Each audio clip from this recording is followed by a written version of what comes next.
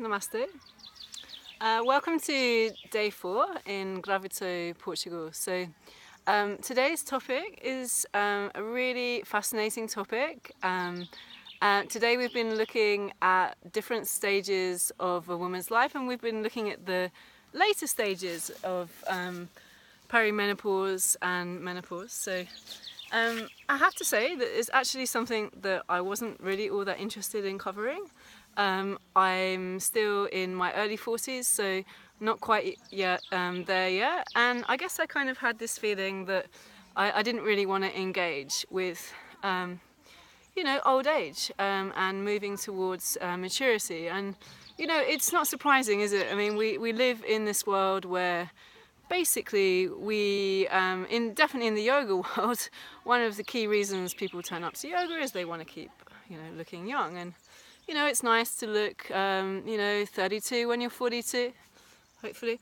Um, but, you know, it, it, it's kind of, um, really, it, it is kind of funny because um, something which I heard on um, a training with uh, Richard Freeman, which is always stuck in my head, was, you know, yoga, guys, is a preparation for death. And, um, you know, if you uh, if you kind of get that, you kind of get what we're doing here um, in the world of yoga, but don't tell anyone because it doesn't really sell. Um, Instagram, um, you you know, ratings uh, might drop, and you know, people use the people use their beauty and, and their youth and their agility and their and their flexibility and their strength and their fitness to sell yoga and and. Uh, you know, um, it's kind of missing the point, isn't it, guys? Uh, well, you know, of course, you know, we want to stay young, we want to be healthy, we want to have optimal functioning of our physical body, but,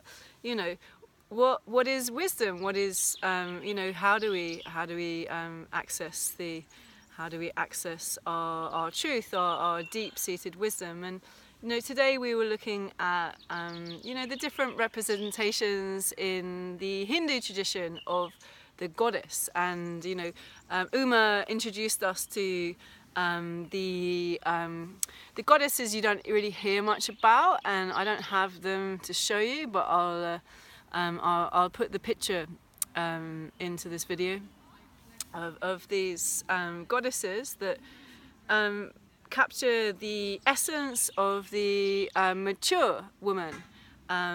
So th this is it. So you know, as as a younger woman, we're we're in this orbit, and our orbit is our menstrual cycle. So we we um, we go on this monthly cycle, and our, you know there there may be learnings in the in the experience, and we go through the the process of of um, motherhood. Perhaps um, motherhood takes a a different angle. It might just be your your life's work, um, not not necessarily uh, babies. Um, you know, we we have that choice. Not everyone seems to realise that, but we do have a choice. And uh, um, you know, it's uh, it's at the point where suddenly things change, and we we um, we start to drop that cycle. That we go into this period of time where we get the opportunity to completely reevaluate what is important.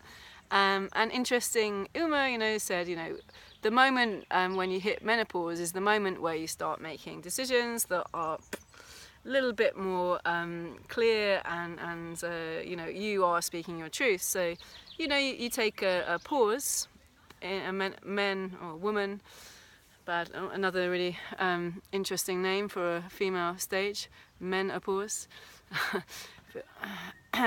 um, so yeah, so we take a pause from from this um, this previous connection we've had to this monthly rhythm. We start to get, move to um, a bigger picture understanding of, of the world, and, and you know this is the point where we we enter our, our, our wisdom, our truth, and what are we doing to these women in our society? We're getting rid of them, you know.